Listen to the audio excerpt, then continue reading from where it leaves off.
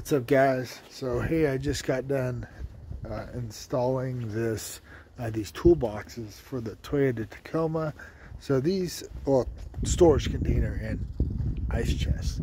So this, uh, these come in the Trail Edition uh, Toyota Tacomas. Uh, let me show you real quick. So here they are, right here. Uh, let me open them up.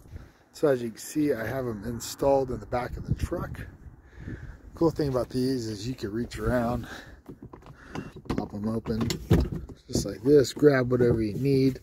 This is supposed to be the cooler one.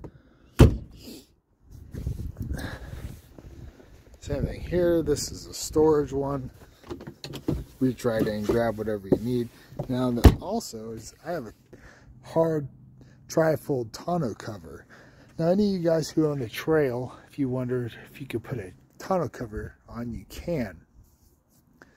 And uh, back here, when you do install it, these little, let me see right here.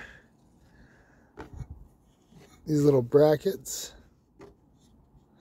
those little things right there. When you do install it, you got to bring them all from that end. Slide these down um, because they won't go in this way. But you can put a cover on.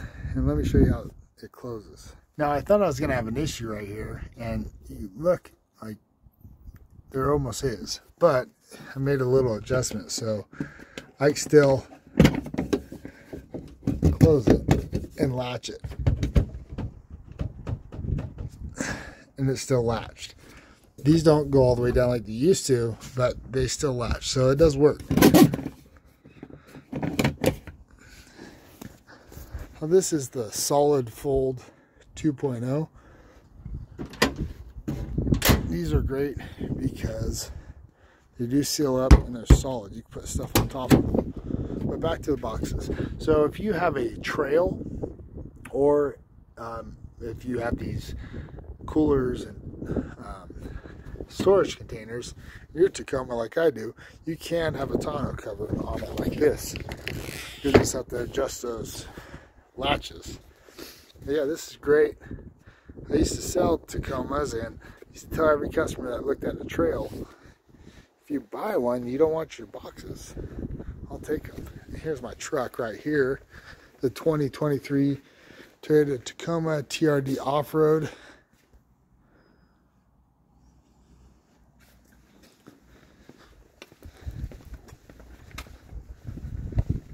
So that's it with that. So if you ever wanted to know, um, you could put those in, you can. And you have a cover on the top. And it works with it.